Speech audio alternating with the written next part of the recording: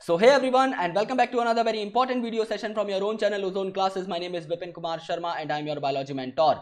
So आज की इस वीडियो में हम लोग बात करने वाले हैं about some crucial tricks to understand and to learn the examples of different kind of families given in NCERT. So morphology of flowering plants में आपको काफ़ी सारी families दी हुई हैं जैसे कि सोलेनेसी फेबेसी लिलिएसी लेकिन उनके एग्जाम्पल्स बहुत ही ज़्यादा टफ है याद करने के लिए और वो आपस में मिक्स हो जाते हैं तो यहाँ पर मैं कुछ सिंपल सेंटेंसेज आप लोगों को बताने वाला हूँ जिस बेसिस पर आप लोग आसानी से उन सब एग्जाम्पल्स को याद कर पाएँगे और अच्छे तरीके से आप लोग एग्ज़ाम्पल में इंप्लीमेंट भी कर सकते हैं राइट चलिए बढ़ते हैं। तो स्लाइड्स बनाने में आज मैंने काफ़ी ज़्यादा टाइम दिया है तो प्लीज़ मेक श्योर आप मुझे कमेंट सेक्शन में बताएँ कि आपको स्लाइड्स कैसी लगी बिकॉज़ हैंड रिटन स्लाइड्स हैं और बहुत प्यारी हैं सो आई होप आपको अच्छी लगेंगी। सो so, अगर आपने अभी तक मेरा टेलीग्राम चैनल ज्वाइन नहीं किया है तो प्लीज़ कर लीजिए ओजोन क्लासेस नाम से आपको टेलीग्राम पर चैनल मिल जाएगा। और आपने अभी तक मेरा बैकअप चैनल अगर सब्सक्राइब नहीं किया है तो आप सब्सक्राइब कर सकते हैं। इसका लिंक आपको डिस्क्रिप्शन में मिल जाएगा। यहाँ पर हम टॉपर्स के इंटरव्यूज़ जो है वो लेने वाले हैं और काफ़ी सारा अमेजिंग कॉन्टेंट इस पर डलना स्टार्ट हो चुका है तो you can go and you can follow it up and if you are on Instagram then you can follow me up on Vipin Sharma Biology which is my official Instagram ID चलिए। तो ये slide जो है बहुत अच्छी मुझे लग रही है यार पर्सनली झूठ नहीं बोलूँगा बहुत प्यारी लग रही है। सो so, आप मुझे एक बार ज़रूर बताएगा कि आपको ये स्लाइड कैसे लगी so that we can make some more slides like this so Solanaceae family के जो एग्जांपल्स हैं वो मैंने यहाँ पर लिख दिए बेला नाम की एक लड़की है जो कि घोड़े पर बैठ के मार्केट गई है। It is very you know uncommon thing but still वो घोड़े पर गई है और वो क्या लेने गई है? सब्ज़ी लेने गई है और टोबैको लेने गई है। यानी वो सब्ज़ियाँ और तमाकू खरीदने गई है घोड़े पर बैठ के मार्केट के अंदर। सो समझ लीजिए तमाकू उनके पिताजी के लिए और सब्ज़ी उनकी मम्मी के लिए। तो ये आपकी ट्रिक हो गई कि बेला अश्व पे टोबैको सब्ज़ी लेने चली। यानी बेला क्या है? बेला एक लड़की का नाम है तो बेला क्या हो गया? बेला हो गया आपका बेलाडोना ओके, बेला का मतलब हो गया आपका बेलाडोना। तो यहाँ पर बेला और यहाँ पर बेलाडोना एग्जैक्टली सेम वर्ड्स हैं, बिल्कुल भी दिक्कत नहीं होगी याद करने में। अश्व का मतलब क्या हो गया? अश्व का मतलब हो गया आपका ashwagandha. Ashwagandha. Okay, ashwagandha medicinal plant very very important from examination point of view तो बेलाडोना हो गया, आपका अश्वगंधा हो गया, दोनों के दोनों ही आपके मेडिसिन में बहुत ज़्यादा यूज़ किए जाते हैं। पे का मतलब क्या हो गया? इनिशियल दो अल्फ़ाबेट देखो सिर्फ़ यहाँ पे पे का मतलब क्या हो गया? पे का मतलब हो गया आपका पेटूनिया सो पेटूनिया को यहाँ पर देखो। राइट टोबैको का मतलब टोबैको इटसेल्फ तो इसमें कुछ ज़्यादा छेड़खानी करने की ज़रूरत नहीं है। टोबैको आपका एज इट इज़ आपका यू नो एग्ज़ाम्पल में आ जाएगा। सब्जियों में आपकी सबसे कॉमन सब्ज़ियाँ जो आप खाते हैं दैट इज़ पोटैटो सोलेनेसी की क्या है? Solanum tuberosum that is your potato Solanum melongena that is your brinjal और इसके साथ सबसे कॉमन सब्ज़ी जो आप पोटैटो के साथ खाते हैं दैट इज़ टोमेटो सो सब्जियों में सबसे कॉमन आपको यही देखने को मिलती है तो बेला भी यही लेकर आ रही है। लेने चली। चली का मतलब क्या है? Chilli which is also a very important vegetable spices में भी ये यूज़ होती है।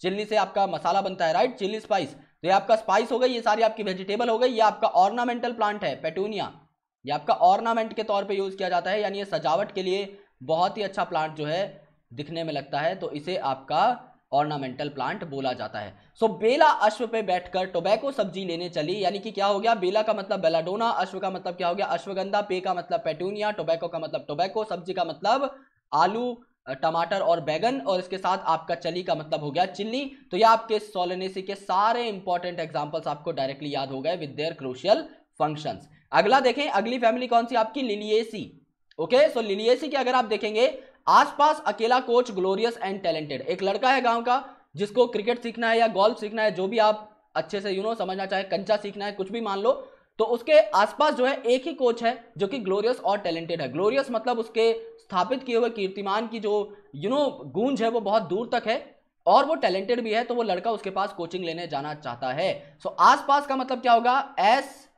पैरेगस ओके सारे के सारे जो आपके अल्फाबेट्स हैं these are exactly similar to asparagus okay which is a vegetable so A यहाँ पर आ गया, उसके बाद एस आ गया, उसके बाद पी आ गया, उसके बाद दोबारा एस आ गया तो एस्पेरेगस से बहुत रेलिवेंट है आपका आसपास. अकेला का मतलब क्या हो गया? अकेले का मतलब क्या हो गया? Aloe. Okay that is your aloe vera aloe vera देखा है? पतंजलि बाबा छोड़ते नहीं है हर चीज़ में डाल देते हैं। ये वही एलॉय है। ये आपके स्किन केयर से लेके आपके काफ़ी सारे इंपॉर्टेंट रेमेडीज में भी यूज़ किया जाता है। सो so, ए आ गया यहाँ पर एल आ गया that is aloe okay A L यहाँ पर आ गया तो एलोवेरा जो है वहाँ पे इसकी बात की जा रही है। कोच का मतलब क्या हो गया? कोच में जो वर्ड्स आए वो आपको ध्यान देने हैं। सी ओ और सी एच तो यहाँ पर क्या हो गया? आपका colchicine is very very important and essential तो सी ओ और सी एच आपका बिल्कुल रेलेवेंस में आ गया है।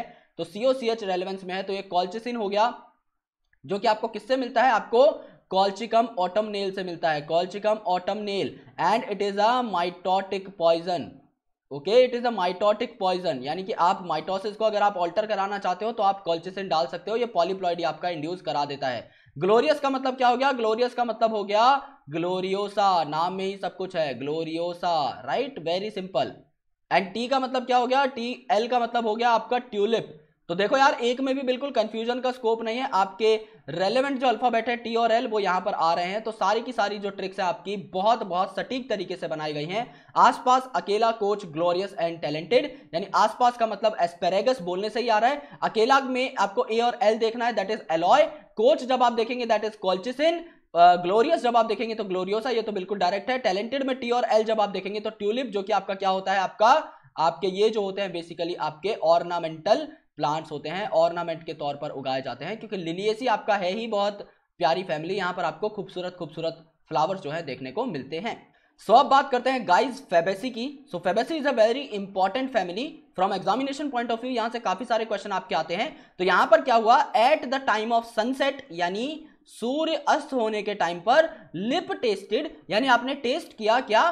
पी पॉड एंड मुलेटी यानी पी का जो पॉड होता है, वो आपने टेस्ट किया और इसके साथ आपने मुलेटी भी टेस्ट की, जो कि खांसी वगैरह में आपका बहुत क्रूशल रूल अदा करती है आपको ठीक करने में। सो ये जो पी पॉड है, आपने ये खाया, यानी आपके घर में समझ लो मटर की सब्ज़ी बनी और आपको जुकाम खांसी हो रखी है तो यहाँ पर आपकी मम्मी ने जो है आपको एंड में मुलेठी भी खाने को दी।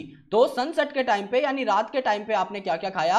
आपने क्या क्या खाया? वो बहुत इंपॉर्टेंट है। ओके पी पॉड खाया एंड मुलेठी खाई। तो यहाँ पर क्या हो गया? सनसेट में से सन वर्ड में से क्या आया आपका? सनहैम पाया sunn hemp is your crotalaria juncea जो कि आपका फाइबर के तौर पे बहुत इंपॉर्टेंट होता है। से simply means S E simply means Sesbania okay तो Sesbania is present over here then आपका लिप यहाँ पर बहुत इंपॉर्टेंट है. लिप से क्या आया आपका? लिप से आया आपका ल्यूपिन ओके एल पी और आई तीनों यहाँ पर आ रहे हैं तो ल्यूपिन आपका यहाँ पर हो गया ऑर्नामेंटल सस्बेनिया आपका कैटल को फ़ीड करने के लिए फॉडर के तौर पे यूज़ किया जाता है. तो ये बहुत इंपॉर्टेंट एग्जांपल है फॉडर का. और सेस्बेनिया के साथ साथ आपका ट्राइफोलियम जो है, ये भी फॉडर के तौर पे यूज़ किया जाता है। So this T for Trifolium ये आपका ट्राइफोलियम हो जाएगा। राइट चलिए, फिर पी जो है पी का मतलब बिल्कुल सिंपल है यार। पी का मतलब आपका हो जाएगा पी पॉड ओके या फिर बेसिकली स्वीट पी तो इसमें आपको कोई नई चीज़ नहीं देखनी है। स्वीट पी आपका बिल्कुल करेक्ट हो जाएगा। पॉड में आपके तीन कैपिटल लेटर्स हैं तो यहाँ पर पी फॉर क्या हो जाएगा? पी फॉर हो जाएगा आपका पल्सेस पल्सेस मतलब काफ़ी सारी दालें। तो ये दालें अलग अलग टाइप की हो सकती हैं मेरे दोस्त। जैसे कि आपकी मूंग की दाल हो गई तो वो भी दालें में आ गई। राइट इसके अलावा आपकी ग्राम की दाल आ गई, चने की दाल। इसके अलावा आपकी अरहर की दाल आ गई so that is also in pulses इसके अलावा आपका सोयाबीन आ गया so that is also given in pulses और इसके अलावा आपका क्या आ गया, सेम की फली आ गई so that is also pulse तो यहाँ पर क्या हो गया, आपका पहले कैटेगरी हो गई पल्सेज ओ का मतलब हो गया आपका ऑयल तो ऑयल्स यहाँ पर मिल जाते हैं। आपको सोयाबीन से ऑयल मिल जाता है तो ऑयल में आपका सबसे इंपॉर्टेंट हो जाएगा सोयाबीन और आपको मिल जाता है मूंगफली का तेल that is your groundnut oil so groundnut oil is also very important so ये दो आपके क्रूशल एग्जाम्पल्स हो गए ऑयल के। डी का मतलब क्या हो गया? डी का मतलब हो गया आपका डाई और पूरे के पूरे इसके अंदर, पूरे एग्जाम्पल्स के अंदर एक ही डाई है that is your indigofera इसे डाई क्यों बोलते हैं? क्योंकि इसके नाम में ही कलर है। डाई का मतलब होता है कलर करना। ओके हेयर डाई से याद कर सकते हो। Indigo is itself a colour okay मैंने इंडो फेरा लिख दिया इंडिगो फेरा ये। सो इंडिगो फेरा में इंडिगो का मतलब खुद ही कलर है। सो so, डाई में indigo is the most important thing to note and मुलेटी का मतलब मुलेटी ही है। तो यहाँ पर आप तीनों जो फैमिलीज़ हैं इनके एग्जांपल्स एक बार दोबारा देख लो। So so, bella okay means belladonna अश्व मींस अश्वगंधा पे means petunia T for tobacco tobacco means tobacco it सब्ज़ी में आपका क्या आ गया? आपका आलू आ गया। ओके आपका बैगन आ गया और आपका क्या आ गया? टमाटर आ गया। चली का मतलब चिल्ली यानी आपका स्पाइस हो जाएगा। आपकी मिर्ची की यहाँ पर बात की गई है। आसपास दैट इज़ एस्पेरेगस ओके अकेला दैट इज़ एलॉय कोच मतलब colchicum glorious means gloriosa and talented means TL means tulip okay so बिना देखे भी मुझे सारा याद है तो ऑटोमेटिकली आपको भी हो जाएगा एक पर्टिकुलर टाइम के बाद। सनसेट में सन का मतलब सन हैम सेट का मतलब से का मतलब सेस्बेनिया लिप का मतलब ल्यूपिन ओके टेस्टेड में क्या आ गया? आपका ट्राइफोलियम आ गया। और ये भी आपका फॉडर के तौर पे यूज़ होता है। एज यू नो सस्पेनिया के साथ it is also use as a fodder so it is also very important pea में आपका स्वीट पी आ गया, इसमें यहाँ पर आपकी पल्सेज आ गई, दालें आ गई ओ का मतलब आपके ऑयल्स आ गए, और डी का मतलब आपकी डाई आ गई that is indigofera and मुलेटी मीन्स मुलेटी इट ओके सो ये आपका एज अ मेडिसिन यूज़ की जाती है, खांसी वगैरह के लिए, आपका काफ़ी बार जो है अलग अलग रेमेडीज में आपका मुलेटी का यूज़ होता है। सो गाइज़ आई नो कि आप लोगों को ये ट्रिक पसंद आई होंगी और अगर स्लाइड्स आपको पसंद आई तो please let me know in the comment section जिससे कि मैं जब भी मुझे टाइम मिले, मैं अपनी स्लाइड्स को इंप्रोवाइज करता रहूँ और इसी तरीके के एक्सपेरिमेंट्स करता रहूँ और अगर आपको ये ट्रिक पसंद आई then please give this video a big fat thumbs up and please make sure to subscribe this channel for most amazing content for NEET entrance examination aspirants. So lots of love and I'll catch in the next video. Thank you so much. Bye bye. Take care.